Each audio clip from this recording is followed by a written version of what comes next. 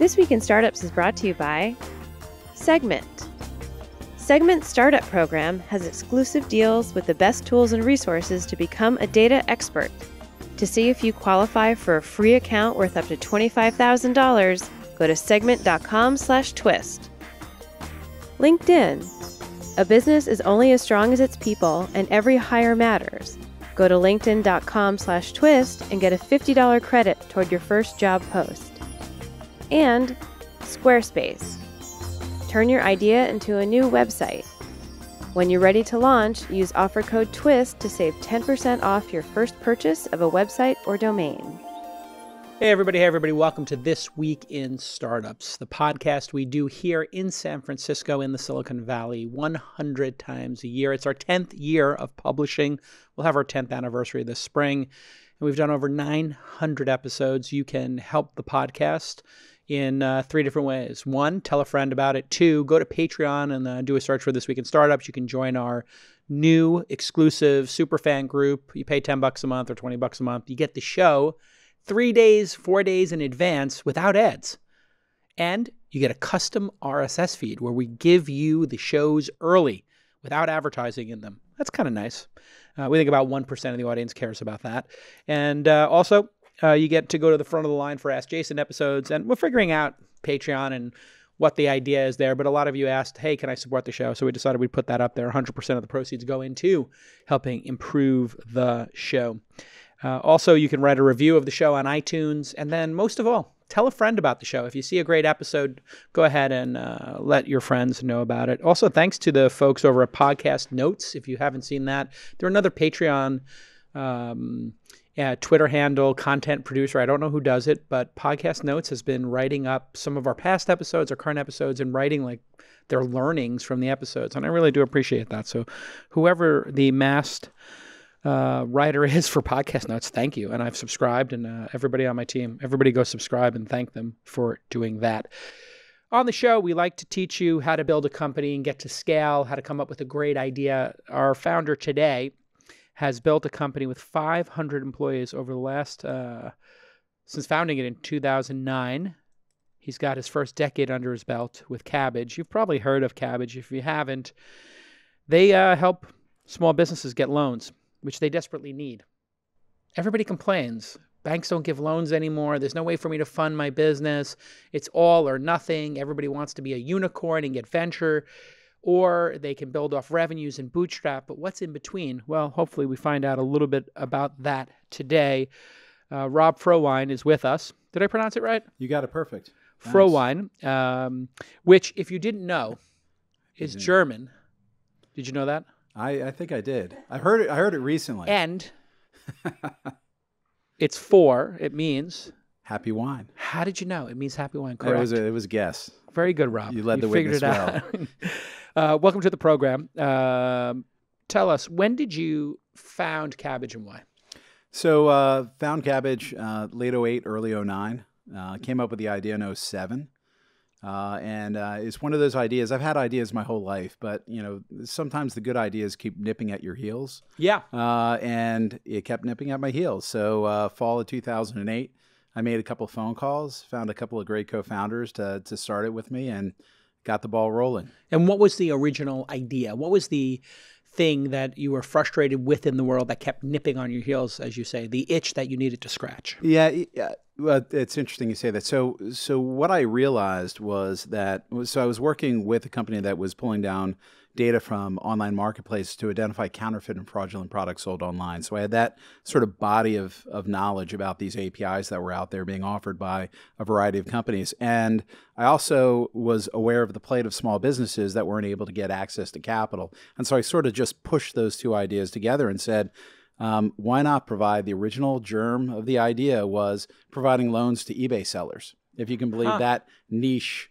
concept, which was I knew I could get access to data, and I knew that these small businesses really had no um, option to to really help them grow. And you could get that data by just hitting the API yep. and saying, "Hey, give me your PayPal data, give me your eBay data, your seller data," and there's something in that data that would let you know this is a good person to give money to. They'll pay it back. Yeah, that's exactly right. You know, it's funny. It was it was all about the fact that I wanted to access real time data for these small businesses, and I thought that would help us and, and my co-founders as well. That would help us understand how these small businesses would repay us. What I didn't appreciate at the time is all the collateral benefits that came that came along with getting access to online data. So a small business wants expansion capital, and they are willing to give you access to all of their books, all of their data. They they do, which seems fact, reasonable.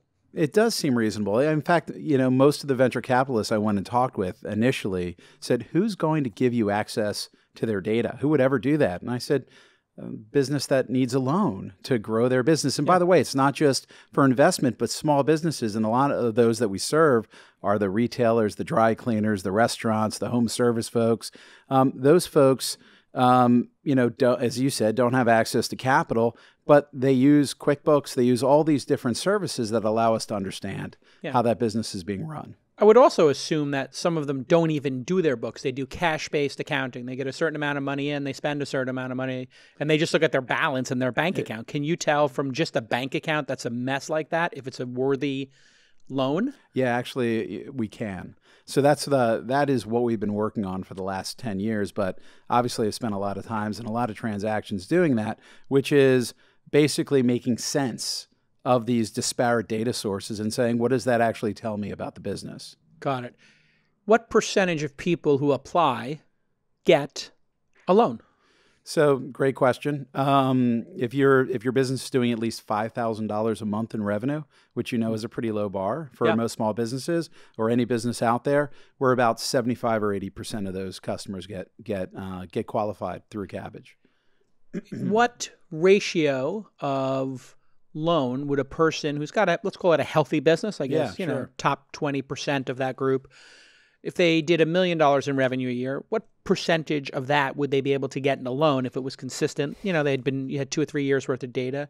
Would sure. they be able to get a million dollar loan, a hundred thousand dollar, and ten percent, half of it? Yeah, it's it's it's it's hard to measure that specifically, but typically about if you're if you're talking about a, a, business that's robust, you know, usually one to two months of their of their revenue. Okay. So if they're making get, seventy five a mm-hmm. month, hitting about yeah, a million sure. a year, they could get seventy five to one hundred fifty. Somewhere in that range, yeah. And How we go up. By the way, our top line is about two hundred and fifty thousand. How is it different than a line of credit with a bank? Well, it's funny. It's actually set up as a line. First of all, banks don't offer these businesses lines of credit, but we set up our system as a line of credit. So when we approve your business for that $100,000, you can take it all down, you can take down some portion of it, and you can come back because you have open to borrow. But the the important thing is we stay connected to those data sources that we were just talking about. So we actually know how your business is performing not just at the moment you originally apply, but at every ah. point thereafter. So now you've become a true partner. You've got we con- have consistent insight into what's in their bank account, what's in their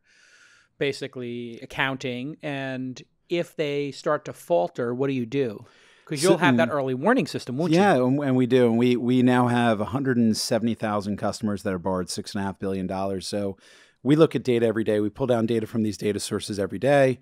And so if there's a challenge in the business, we have an ability to modulate the line. Uh-huh. So, but but not just down, but also up. So, uh-huh. if your business is actually improving, we'll increase the amount of capital that's available for your business. Um, if it's not, pardon me, if it's not um, improving, if it's if it's not as healthy, we'll just manage it so that you don't have access to a line that you can't afford to repay. Got it. Yeah. So if everything craters, whatever, right. you know, they start building a uh, train station outside of your deli and you, you can't get access to it and the revenue goes down 90%, you could say, okay, the, the credit line will go from 100,000 down to 10 or something. Uh, yeah, we'd do that. That's not obviously the typical example. And we don't yo-yo lines for customers ah. because people need to rely on the amount of capital they have right there. This is a line of credit that they're using for all sorts of purposes. All right. I have a stupid question, as I often do on this podcast. Um, and I'm going to ask it here we hear about the country putting trillions of dollars into stimulus, giving loans, ridiculous size loans, and bonds uh, being originated for people like Amazon or Apple and even Tesla, all taking down huge amounts of loans. And then we consistently hear that small businesses don't have access to those Yet we also hear that our government officials say, and the statistics say, that small businesses are where all the job creation is. So when we get back from this quick break, I want you to explain to me why there is a huge disconnect between what our government is telling us they're putting this massive stimulus into the world in order to make small businesses grow, and then small businesses consistently saying they can't get access to that capital when we get back on This Week in Startups. You're building your startup, you have a ton of questions about your users and how they're using your product. Who are these people? How are they using it? And are you working on the right things? Many times I meet founders and they have 50 different features in their product and they don't know who's using what and when and how often. Well, that's what Segment helps you do. It helps you answer these critical questions so that you can put your dev resources, you can put your people, designers, etc., the management team, the sales team, you can get them all aligned by studying your user data and figuring out what to focus on. You can cut down on annoying integrations and just have your developers get back to work by using Segment. You just boom, put it right into your product and it's easy to use. And they've recently launched a startup program. That's why they're here on This Week in Startups as a partner. And early stage startups can get access to a free Segment account worth up to, wait for it, 25 large, 25 dime skis, $25,000 complete with exclusive deals with the best tools for startups and resources to become a data expert. It's the ultimate analytics setup at a startup's favorite price. To see if you qualify for Segment's account worth up to 25,000 large. Check out segment.com slash twist. S-E-G-M-E-N-T dot com slash twist. I mean, they got the name segment.com. That's a really good domain name. Segment.com slash twist. Get that uh, application in and see if you're going to get that $25,000 worth of segment. Okay, let's get back to this amazing episode. My guest today, Rob Frohwein, and he is the co-founder and CEO of Cabbage, Kabbage, K-A-B-B-A-G-E. Um, it's kabbage.com, I assume. You got it. Yeah. And you're Kabbage Rob on the handle, Twitter. yes. There's your Twitter handle. Um, how did you come up with the name Kabbage, by the way? That was uh, sort of several nights sitting uh, at a bar uh, trying to come up with a name with, Got with three other people. And, you know, we went through every possible food. Got it. Cabbage with a K.com was 1200 bucks. Cabbage with a C.com was 75,000. Great. We had no money. Do you own So you Cabbage with a C now and We redirect now, it? You yes. redirect. And So we you fake it till you make it. Yeah, yeah, yeah. We actually paid less now than we than it was available back then. Interesting. Yeah. Well done. Hey, when I left you uh, before the break there, I asked you about this weird disconnect because I hear all the time uh, from people, oh, small businesses can't get loans, but then we hear about this crazy stimulus. What's the disconnect? Why can't we get, or, or is is there a disconnect? Am I wrong? Are small businesses able to just go into a bank and get a loan pretty easily these days? What's the story? You know, it, it it's look if you have a super high personal credit score and you go into a bank, you can get a loan, but they're going to leverage your personal credit um, to do that. So you're going to put your house on the line. Oh, Um, you're going to take personal liability for it. So they're not looking at the business. And the problem is banks aren't set up to understand, you know, how a small business operates. When they talk about small business, even when the government talks about small business, they're talking about okay, between 10 and 50 million in top line revenue. that's they're not- small. That's small to them, right? So they don't even they they don't even think of the businesses we serve as mm. as actual businesses many times. Yeah, that's interesting. So small businesses under 10 million in revenue or in their first year under a million in revenue. Yep. What are their choices right now? So, it, uh, you know, the good news is the choices are expanding. There are more companies that are out there now serving small businesses, um, not not just us. It- you know, lots of other companies have, have sort of entered the space, um, but it's still a arduous process for the most part. It's still Yeah. paper intensive, time intensive. And the things that we always say is the the precious resource that small businesses don't have and small business owners is time. Hmm. You know, the small business owner is running the cash register, they're stocking the Yeah, back room, they're you know bringing the customers in the door, they're doing all these things. And by the way, they're really good at the skill or craft that brought them into that small business. Yeah, They're not great at managing their cash flow. So Right. that's the issue. got it. What's the average size of a loan? Our average loan, actually, we set up as a line of credit, as I mentioned, and so average line of credit is like twenty to twenty five thousand. Average loan is about seven thousand dollars. That's But it. yeah, Wow. but businesses borrow four, five, six times a year. They keep coming back again and again. Got it. Yeah. Why would they do this with you as opposed to at a bank? like a, Well, Bank of America. It's just Bank it's, of America or Well, whatever, whatever No, bank. no, they I get it. I get Yeah. it. No, no, it's it's uh, they can't really get capital Ah. from those banks. Those banks are not set up to serve them. Mm. They can go. They can spend eight weeks, and they'll often, I would say, nine out of ten times get a no at the end of that process. How long do you take to turn it around? Because I guess that's the key. Because there's that mortgage company. What is it? Quicken Mortgages, I guess. Their guarantees they're going to get you the mortgage and they're going to turn it around really quick. Is that your value proposition? We're going to turn it around quick. Well, so it's you land on our site, give us access to data. We make a decision, approve, and ship money within six or seven minutes on average. Minutes. Minutes. When you said six or seven, I was waiting for you to say hours or days. Hours or days. No minutes. And I would have been impressed with six or seven hours. I would well, have uh, been I'm here. like to, I'm here to exceed your expectations. six to seven minutes. Yes. So, because it's impossible to fake your bank account information at You're right. Bank of America Yep. or other places. Whereas if people fill out a loan application, like Donald Trump did apparently at the uh, Michael Cohen hearings, you can put whatever you want on those statements, and Deutsche Bank's going to look at it and go, "Okay, sounds good. Here's a billion. Yeah, no, look, it, you're you're absolutely right, and but I, I wouldn't assume that most people who are filling out the applications are trying to defraud the institution. Like which I'm not suggesting you're you're saying that's the case, but it's great getting third party validated information that's Yeah. connected by our customer and stays connected. It's to me, you know, these banks have come up with a series of requests of information that were developed, you know, 70 years ago, Hmm. and they're still asking for the same information today. You know, Why- why do it that way? Yeah, why are they so incompetent?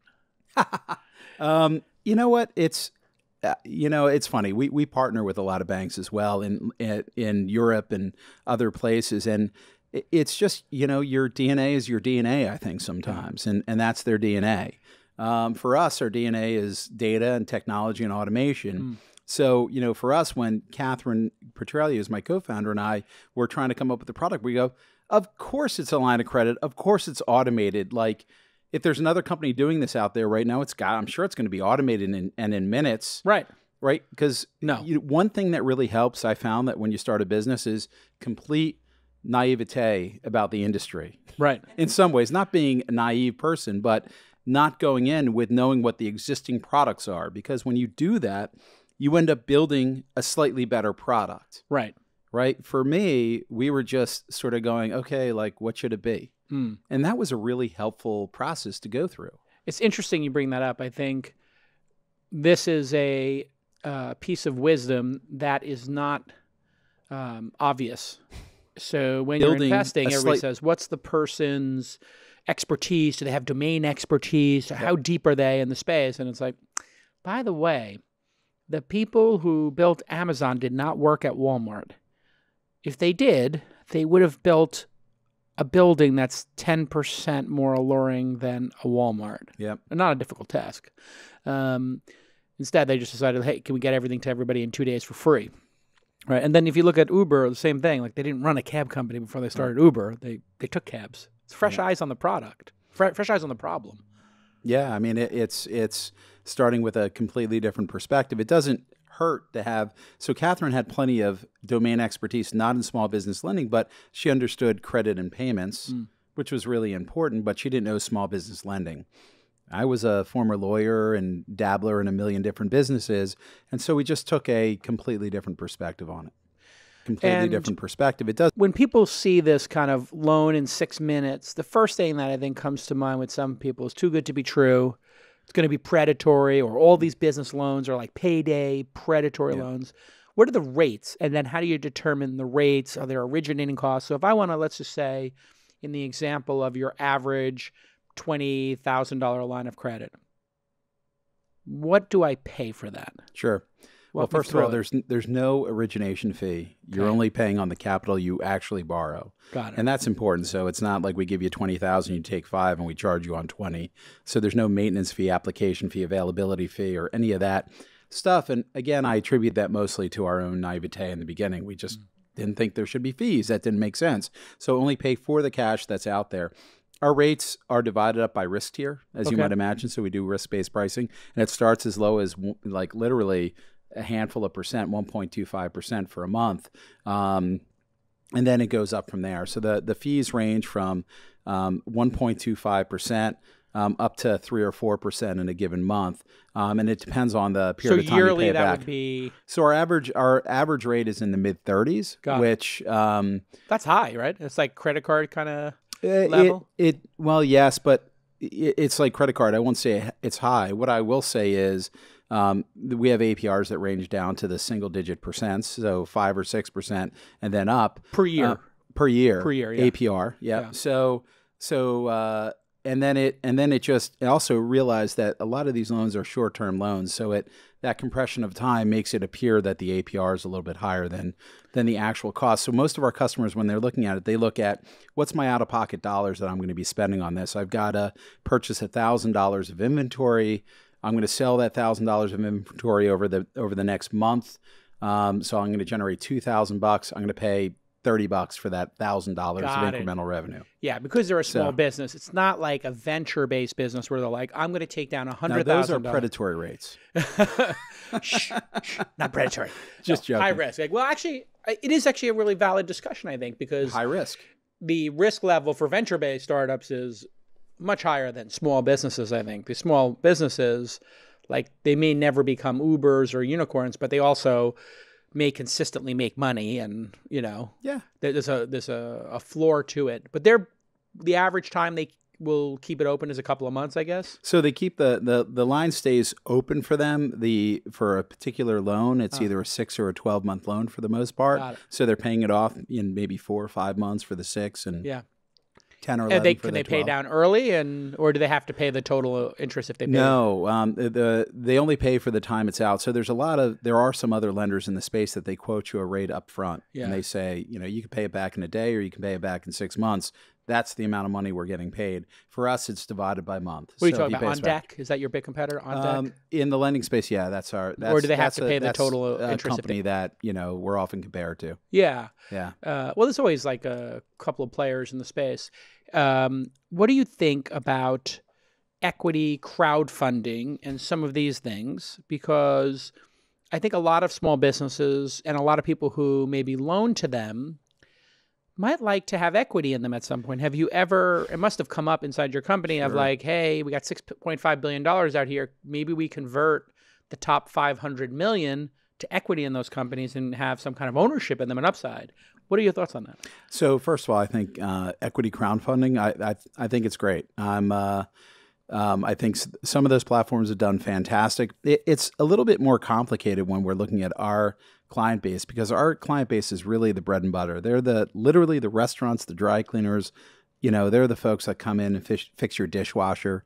Um, equity in those businesses is a little bit different. Yeah. Uh, without a doubt, we have you know some companies that are technology startups, but remember we're we're you know we do we I, I think yesterday we sir we provided like 1700 businesses with loans yesterday alone Wow. um, and you know so we're dealing at such a such a scale that it's complicated to do the equity piece but there's certainly businesses out there that we funded that that that might be appropriate for All right, when we get back from this quick break, I want to talk to you about people who default and how you deal with that and how do you manage people who don't pay it back when we get back on This Week in Startups.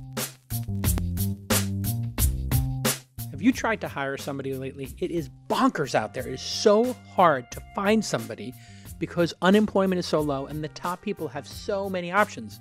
Let alone the fact that a lot of people want to like work part time or four days a week or from home. But there's all these great candidates out there who are passive job searchers. What do I mean by passive job searchers? Well, these are people who are hanging out on LinkedIn and they're, you know, maybe talking to friends or doing in-mail, updating their feed, reading news, all on LinkedIn, which is one of the world's largest social networks, as you know, and the largest one for business, clearly.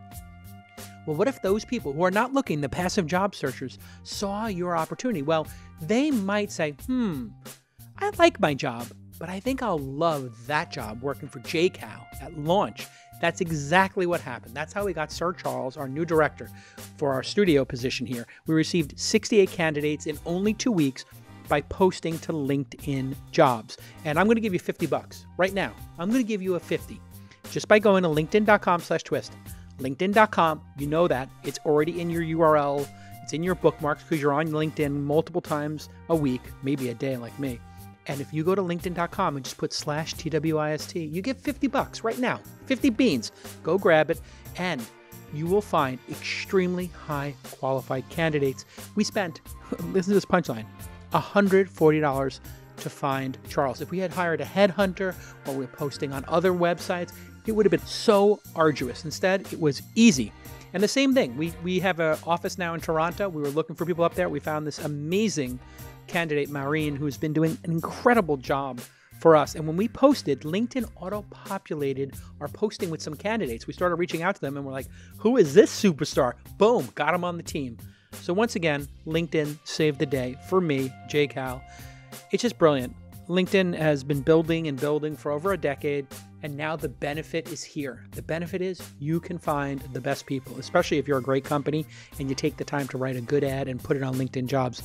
Again, 50 bucks, linkedin.com slash twist. LinkedIn.com slash twist. I use it. I love it.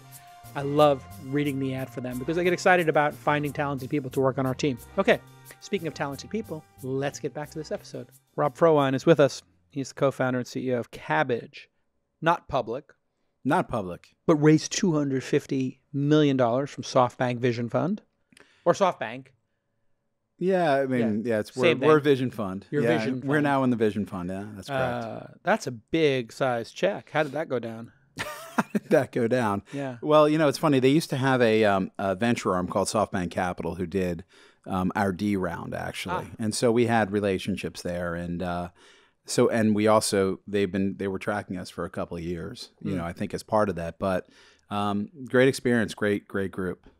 So they came into the space with a very large checkbook. The criticism has been maybe running up valuations or overfunding companies. As the CEO, that 250 million, I'm assuming, is is that more than you raised previously to that date in total?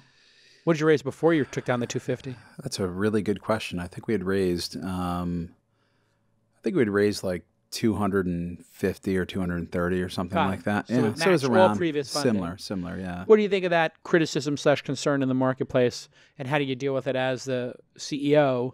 You get a two hundred fifty million dollar infusion. I assume you guys were close to profitable, or you were in spitting zone. Yeah, yeah, yeah. We're now our lending business down? is profitable. Yep. Oh, great.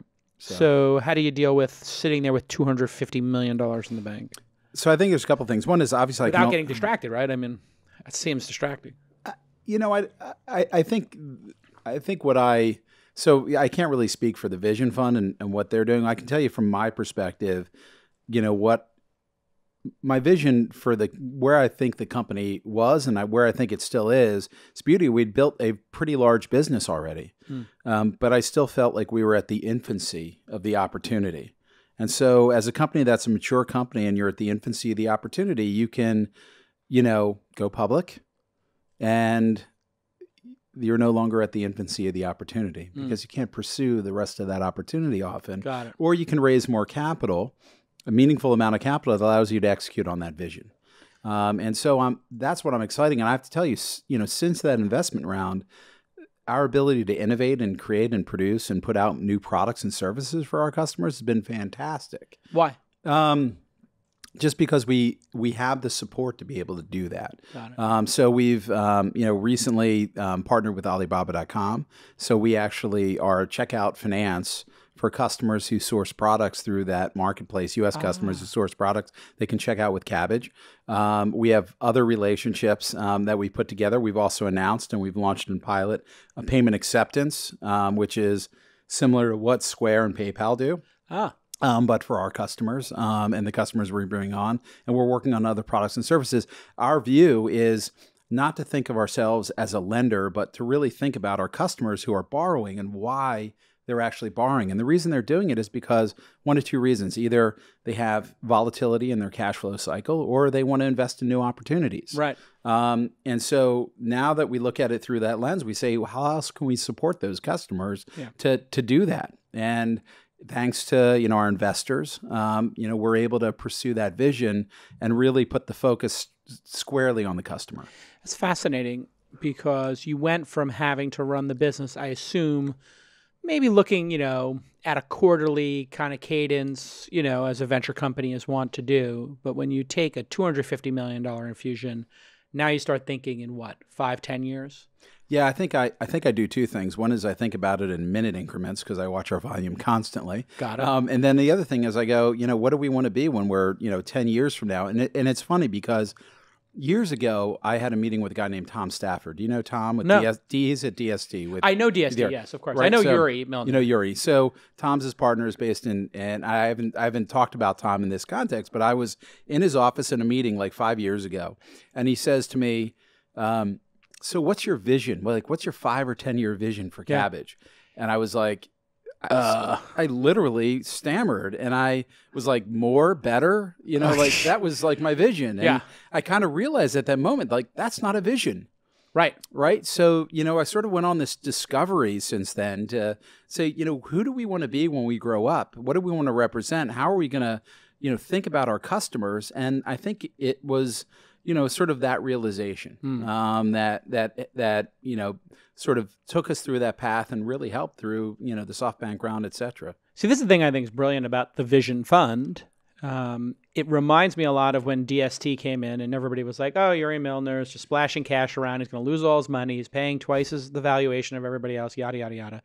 He wound up being the smartest guy in the room, not the stupidest. Like, literally, people were like, Yuri Milner's the stupidest guy in the room. He's literally marking up our investments 2x. Right. Six months later, what a dope. And it's like the guy, like, put a billion dollars into Facebook when it was at what, five or 10? It's like, Yeah, Yeah. that turns out to be a good investment. yeah, I think it worked out, right? And the, the Vision Fund now, people think, oh, they're just giving $250 million to startups that'll then collapse, like early stage. Here's an example of a 10 year startup with 500 employees, which means if you have 500 employees, you know, you got a 100, what, or 50 to 100 million dollar payroll a year.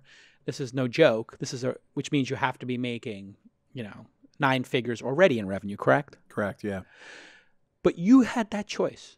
Go public, get the bankers breathing down your throat, want to take you public, which is the dream of all founders, even if they won't say it is, ring that bell, or push back the IPO for a couple of years and build quietly and privately. That was your choice, wasn't it? Yeah, it was, and it's it's funny you, you mentioned that that dream of founders. I have to admit that when I started the company, even when I was growing up, the lure of starting a company and being able to take it public was like exciting and you Everything. thought about it. It was like really cool. And it's funny now that I've done this business for this number of years. I don't like think about. I like it's not like the thing that ma- gets me excited anymore. Right. Right. It it now I'm like I I understand the money raising thing and I realize it's just a fundraising event and I realize I've seen a bunch of my friends go through it and the challenges Yeah. associated with it and you end up with just you you learn. You get Yeah. older and you learn. Yeah, it's interesting. I think when we grew up, you just see that as being the corollary with success.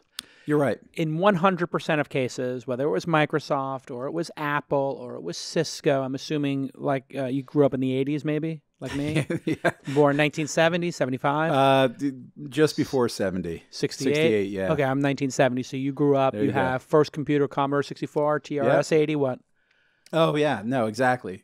Commodore 64. Yeah, yeah. All right. So you have, the ta- you have the tape drive? Um, uh, yes, I can. You know, you you remember better than me. the tape drive was the best. It's like you want to load Yep. a game, put No, the I tape know, in, I and let it know. read, come back Well, you in know, half an hour. I also remember when I had my first. You know, I, I got my um, my first um, desktop from a uh, from a chop shop, basically. and so I remember inserting. I was so excited. I added like 250 megs of of memory into it. You know, Yeah. long time ago, and I thought, I'll never run out. You No, know, at this point, yeah, forever. Yeah. Uh, my favorite IT story was when I was working in IT at uh, Amnesty International. I have Oh, two yeah. stories. So that was my big internship. I was uh, big into human rights and still am. And um, I was on the phone with a woman in a you know foreign country who was one of the activists who would coordinate. And I said, okay, uh, suppress the any key and uh, we'll install the software. She says, I don't see it. I said, no, no, just press any key.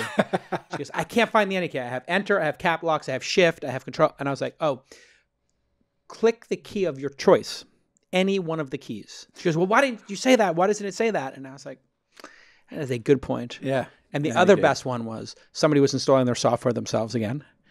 Uh, they were on another floor of the building, and I said, "Okay, well, just take the, the floppy disk out of the case and put it in there." It's not working. It's not working. I said, "All right, I'll come up after lunch." I come up after lunch. She had taken the five and a half inch floppy out of the sheath, and then opened the floppy itself. Which takes a little bit of effort, like to rip it open and pull the me- media out of it and Yeah. stuck it in the drive, so and it wasn't working. And I was like, "Well, that works out." Yeah. Um, Did you ever see the YouTube, the sales versus IT? No, You, you have to look that up. sales v It's- IT. I'm on sales it. v IT. It's like it's every it's worth every pull it one of it's like ten or twelve minutes. It is incredible. Um, And it's, I I it literally those stories? it's those. Yeah, it's basically somebody is having a problem with their Yeah. um, computer and they call down to IT for it. So it's it's fantastic. uh, hey, with the uh, last thing on the Vision Fund, before they, uh, when they launched it, everybody knew like it's the uh, Saudi money. Then uh, the Saudis go and kill a journalist in cold blood. Now, all of a sudden, Silicon Valley and everybody's a little bit concerned. Should they take this money now? How do you think about it? Are you concerned So uh, about where the money comes from? Ah, well, so look, look, this is the the way I view it is that um, one of the things I'm really proud of is the number of small businesses we've helped. Yeah. 170,000 small businesses in the U.S. Um, you know who you know the the amount that's been one of the most um, that's been the mo- the best part of this journey has been all the positive feedback. And so I when I look at the 250 million that was invested from SoftBank and the hundred couple hundred million Yeah. that was invested before, that's really been invested into U.S. small businesses and driving that economy, and that's really what Yeah. I'm what I'm focused on. It is a conundrum. I'm a obviously an investor in Uber, and they took three and a half million directly from the Saudis before the Vision Fund existed. And I was like, having the human rights background, I was like, ah, they don't let women drive in that country. They torture people in that country. Like, are we really taking that money? And so it's a conundrum for me too. But it's going to good work, I guess. It's going to good work, and um, you know, and I, you know, and I've we've built a great relationship with SoftBank. Yeah. um, good folks who are focused on solving some of the you know biggest crises that are happening in the world Yeah. um, through technology and I so I'm a big fan and and big uh, supporter of of the types of companies they're investing in Yeah. It's a challenge for our industry. We have to think about it deeply. Like engaging, because engagement of other countries can lead to good things. Like, do we engage with China or not? And then, how, what is their human rights track record? Right. Hey, before we went to the break, uh, moving on from uncomfortable topics, but we have to bring them up. Uh, I talked to you another uncomfortable uh, topic, I guess bad loans. bad loans You don't take a lien against people's houses like a bank might. So when Joe's Pizzeria goes belly up and you loan them 50,000 and you were as it were the person who caught the knife, we get a lot of pizza you No, get a I'm lot of pizza dough, you get a pizza oven. What do you do and how often does that happen? so uh, it a- actually happens um, many fewer times than you'd imagine so Yeah. our our default rates are um, you know 5% you know give or take Of the number that you originated or the dollar amount, I guess?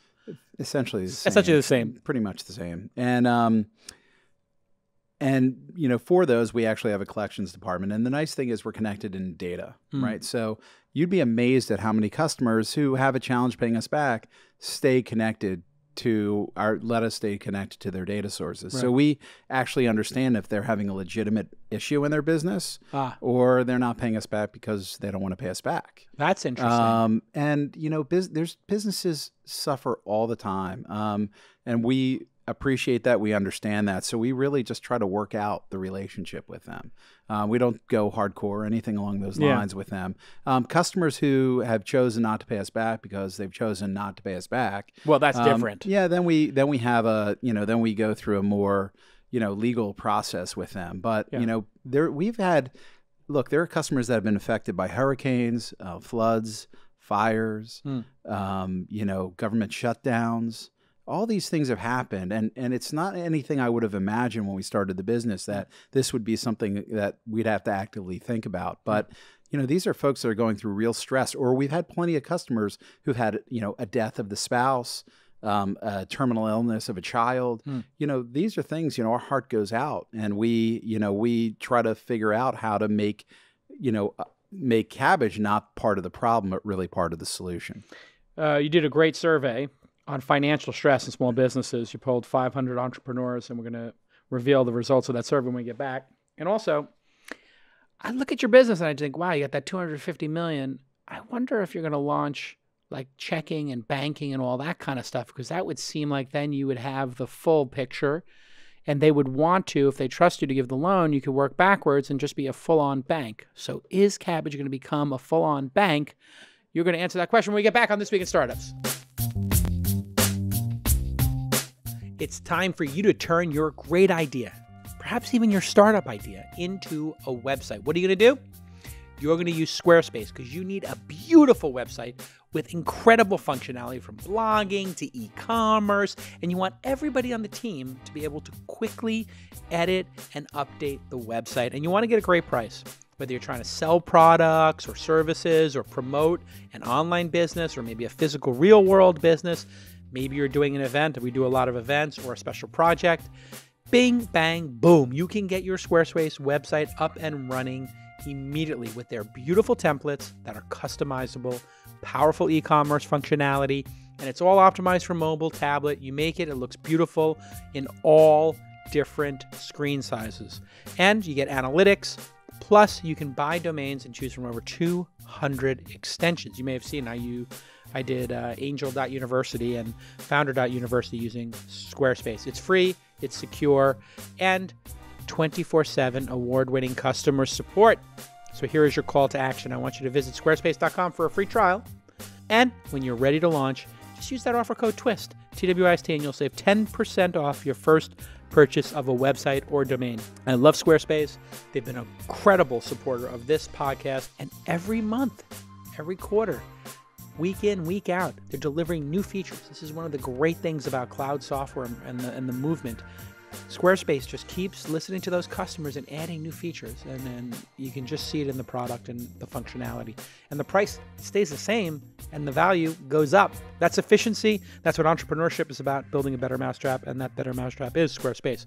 So go ahead and visit squarespace.com, use the promo code TWIST to save 10% off your first purchase. Okay, let's get back to this amazing website.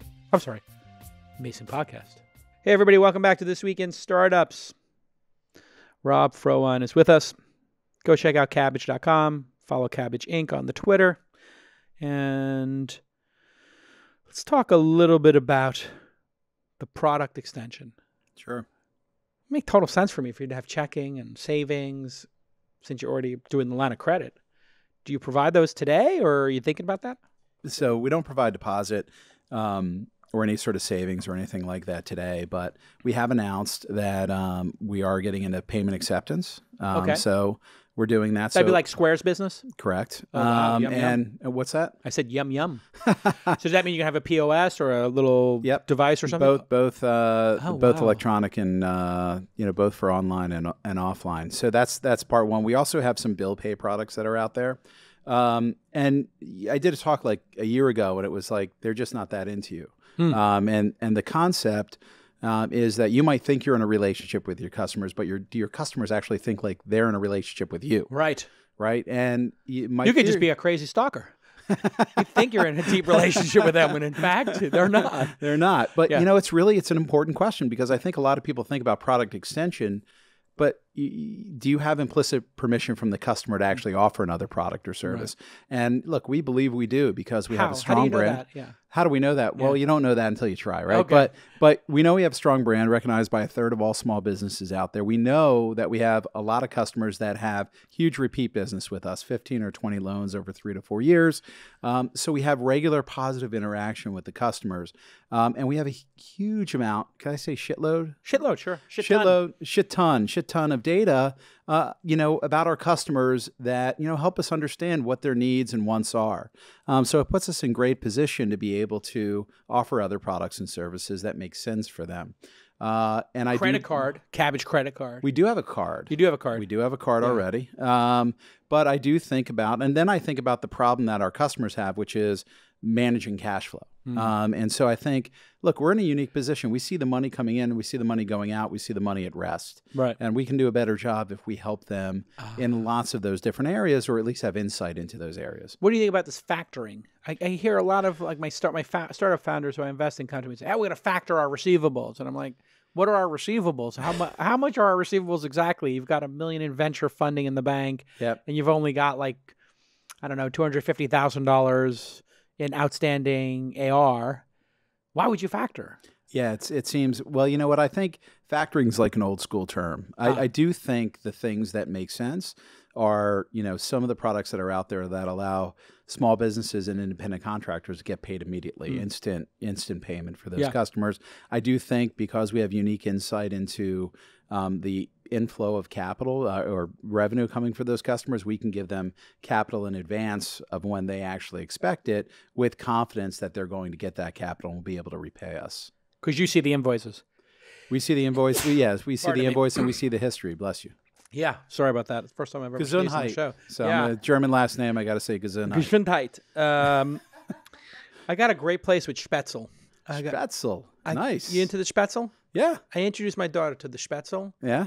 She's gone bonkers for Spätzle. This Huh. is great, great place in San Mateo. That's like a beer house. Wow. Uh, and uh, so next time you're on the way to the airport, All right. you stop by San Mateo. Just look up German beer house. It's, I forgot the name of it, but they have pretzels. They make All right. So Spätzle and uh, what do they call it? Schnitzel. Yeah. Schnitzel. Of Got a course, little schnitzel. schnitzel going on. there. Schnitzel is you know veal or chicken schnitzel. Yeah, chi- chicken yeah, schnitzel okay. with the with the spätzle and the pretzel. Oh, that's some special. That's some good living right there. Wow, you're rhyming. It's like Am a I? rap. It's like a It's rap. a wrap. You said sch- schnitzel, pretzel, yeah. It's um, special. you did this uh, survey. Uh, poll 500 entrepreneurs who've run successful companies for an average of 10 years. Majority don't pay themselves for multiple consecutive months to control cash flow in the biz. Brutal. It's got Really a brutal. yeah. That works well with the spouse. I'm not going to take a salary for three months. That's an interesting conversation with my wife. Uh, 26% have gone two to six months without paying themselves. Maron. Another 25% foregoing more than six months without a paycheck. 63% said they regularly stress or have anxiety due to cash flow concerns. 35% often lose sleep or have difficulty sleeping. That seems low to me. 42% sacrifice much of their social life and personal hobbies. 30% they have say their family life suffers. And that really It's is. it's the- a real billboard for starting a business, isn't it? Absolutely. If you'd like to suffer from anxiety and not be able to sleep and have 32%. It almost sounds like a prescription, like Yeah. caveat at the end of a prescription ad. I think we should, yes, exactly. Bec taking entrepreneurialism can result in a 32% chance of hating your life. Some people get diarrhea or have 32% say their family life suffers. It's brutal. Why do Uh, people do this? Yeah, you know, it's why do we do this survey, Paul? I don't, I don't. No, it's good It's- for people to know. I think it's good for people to It's like- recognize how stressful it is and It- that having a, a a little bit of a safety net so critical. It, it is, and, and let me tell you, I, I wasn't one of the respondents to the survey, but I suffered through, ev- and it wasn't with Kabbage; it was before Kabbage, I, and I also with Kabbage. But Yeah, you I suffered you were through a all junk of it. caller. yeah, People don't know this about you. Oh, You- gosh, you- that's in there the too? junk. I got the I got all the notes. wow, holy moly! How'd you come up with that idea? That was actually my buddy's idea. He had the truck, so you had a truck. so you had to have you the had truck. no ability to be gainfully employed. So I was like, I was like 19 years 19, old. I was starting. Uh, By the my way- first magazine. All right. What well, are you talking about? I probably made more money hauling junk. Probably did actually. you probably did. That seems like hard labor. It was. junk. It was. You know, you learn from those types of jobs. Those are those are good jobs to have. Yeah. Uh, somebody in your company got 500 people last year came to you, I'm sure, and said, "Hey, boss, I need to talk to you about cryptocurrency. Okay. This is going to change everything." What insane ideas did your people or external people bring you, and how do you think about imaginary money? So uh, we actually had a hackathon a couple of years ago, and somebody wanted to be able to uh, transmit funds, you know, in crypto Mm. and be able to receive payments. Really hard to do that when you're taking down huge facilities from Wall Street firms. Yeah. Um, so so we didn't end up doing that. So we, you know, in terms of distributed ledger, um, so I'll so I'll take it a step back. I th- I think crypto and distributed ledger have a, a, lot of opportunity within the capital market side of our business in mm-hmm. terms of pulling together funds um, for investing into into small businesses through the loans that we do. I think the other place is um, it makes a lot of sense in in sort of our deposit base. Um, it's hard to it's hard to describe, and it, it won't translate well to to an interview format. But I'm a big believer in in distributed ledger technology right. Um, and blockchain. Um, crypto, you Why? know, has Why, What place. do you like about it so much? This this distributed ledger. Um, speed, I, efficiency. What? Yeah, speed, not necessarily. No, it's not that fast. no, it's not. Um, I think it gives us an opportunity to sort of manage information and manage money in a in a much more efficient way over time. And so, um, I especially see it for a company like ours, where we could do something really interesting um, in pulling together money for that we use in our capital markets to mm-hmm. lend back to our businesses, but still be able to maintain, you know, the, both the accounts and the volatility within accounts um, for individual customers. The six point five billion you've uh, originated. Yep Whose money is that? The governments, other banks? Uh, not you the governments. Do, not the governments. Not the governments. Yeah. So it's uh so we put together ABS facilities, asset-backed securitization vehicles, um, and those are invested in by banks, insurance companies, pension funds, you mm-hmm. name it. Um, they do that. We also have warehouse facilities and and corporate uh, facilities as well. Got it. So people who are on large chunks of capital yep. want to put some in a you know with something that would make a higher interest rate even though it's maybe got a little more defaults. Um, yeah, and, and by the way, we we you know sort of promise a return, and got so it. they're betting on you know our underwriting, and they're betting on the fortitude of the company. And your business taking the the delta between those two numbers. What, we are, yeah, we are, yeah. And you got to constantly manage that. Got to constantly. What's amazing to me is I knew pretty much nothing about credit and risk mm. starting this business. Now it's like big part of my world. Does that make you look at the world differently? Do you get like somebody's like, "Hey, you want to go skydiving or go on a moped?" and you're just like, "No."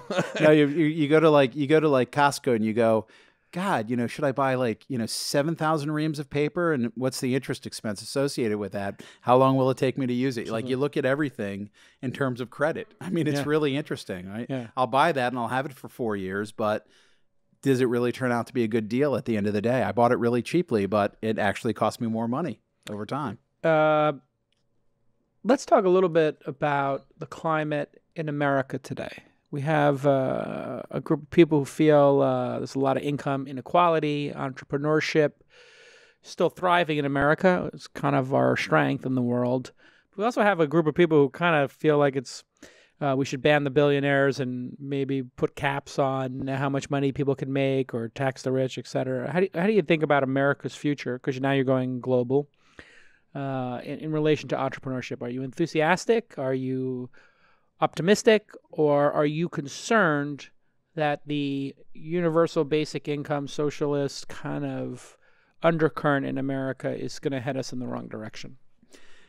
I, I wouldn't say that I'm concerned that it's going to head us in the wrong direction. I'm, I'm a big market force kind of guy, so I free I believe that will yeah free markets that it'll it'll you know it will settle itself in a reasonable way.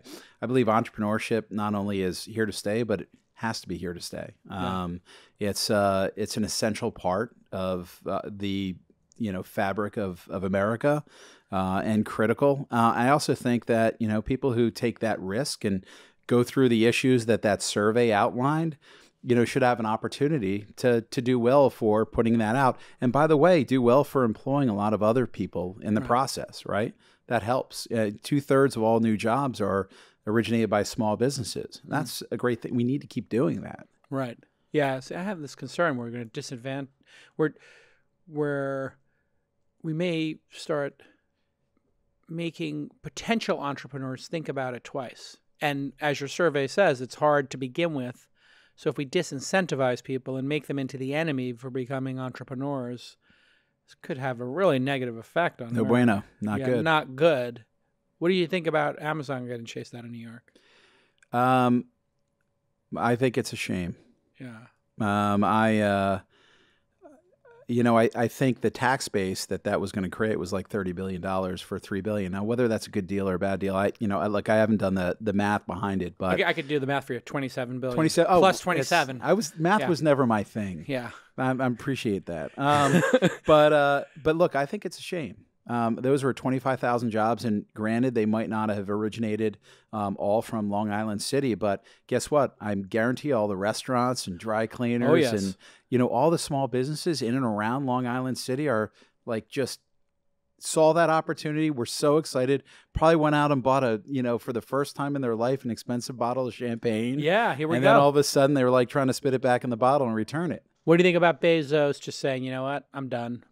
Takes his chessboard, leaves. Just like I'm, I'm out. take take your take your toys and go home yeah, look i, I wasn't privy to, to what was going on Yeah. but uh, obviously but um, i understand you reach a breaking point Yeah. um, and you know it's important i think um, you know he he probably you know it, might not have been him but his team probably said look this is sort of the deal you cut i'm a big believer once you cut a deal yeah. you follow through with it Why not? you sure, have to makes Um, total because sense. otherwise you're on you know What's the you're on next company going to say? Yeah, or you know Yeah. what happens is he goes, he moves forward, and you know builds a, you know, you know rents a bunch of space, does all these things, and they go, we're actually going to change that one more time. Right. Um, and you know you can't you can't run a business in that kind of an uncertain climate. What is this, Darth Vader and Lando Calrissian, uh, like Cloud City? Pray that I don't alter the deal any further. It's like they literally made them redo the deal, and I, I am, the what people don't understand. I have to frame this correctly because I know I've got all the socialists who are going to clip this. What people don't understand is that jobs can move almost anywhere today yeah, and location, geography is not what it used to be. You have 500 employees, or any of them outside the United States, yeah, and seventy of them are seventy 75, Yeah. and maybe customer service, sales. I don't know. No, it's uh, we have data analytics and we have a little bit of development. Yeah, and uh, I'm sure your team comes to you every week and says, or every month, "Hey, we, we could open an office here and save 50 cents on the dollar. Cost of living is two thirds, whatever it is." And you're in Atlanta, which is not the most expensive place in the world, but any company can move any job anywhere if you're lucky enough and you're in a competition as a city. And if the taxes in New York are greater than the taxes in Atlanta and the taxes in Atlanta are greater than wherever in Texas, you're in a competition. So Yep. cut a deal and get the jobs. If not, they're going to move it somewhere else. And by the way, you can move it to Canada, My my hunch is my hunch is Ireland. folks took a stand and didn't expect Amazon to walk away so quickly. Yeah.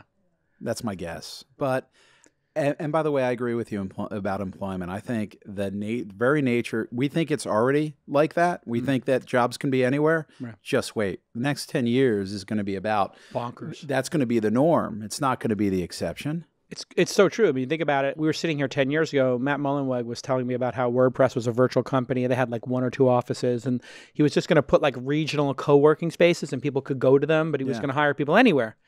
And now, like the whole company's like that. There's a couple of companies at scale. I think InVision is another one like that mm-hmm. are starting to hit scale with hundreds of employees and not much office space Yeah. like what do you think is going to happen new york like if you make it untenable and you say we're going to ban the billionaires and you make you vil- i mean it really got personal like they're vilifying jeff bezos and bezos has got to get a, a better Yeah. idea of how to handle being the richest guy in the world like it is a terrible look I know. If he needs help, you know, I'm it's there. Just, it's a it's a terrible look to be asking for handouts when you're the richest guy in the world or not doing charity. This is Bezos's two biggest mistakes. One, he bought a newspaper.